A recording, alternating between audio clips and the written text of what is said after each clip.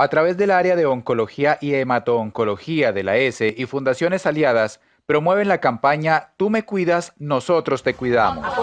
Tengo la responsabilidad de cuidar a mis pacientes hemato-oncológicos. El Hospital Universitario de Santander es el hospital de referencia. Tenemos un alto volumen de pacientes. Realmente necesitamos del apoyo y la colaboración de todos. En cada servicio, eh, las especialidades de apoyo son limitadas.